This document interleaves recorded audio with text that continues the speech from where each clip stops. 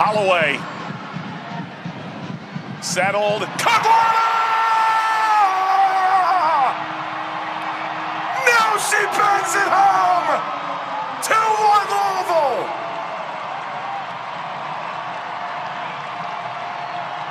What a strike from Thembi Kgatlana. I've been singing her praise. I've also said she needs to do more. She needs to get more goals. One goal this season isn't enough for a player of her quality. And look at what she can do when she gets going. She's caused problems all night, sometimes getting into areas, not having much composure. But look at this touch, preparation touch, opens, finds a window. Absolutely brilliant. Look at this preparation touch. You can see Olivia Moultrie has no chance, finds that window. Great strike from Kgatlana, and they deserve this, I think, Louisville, for sure. Bella Bixby has no chance. Great strike. Not much backlift on the strike either.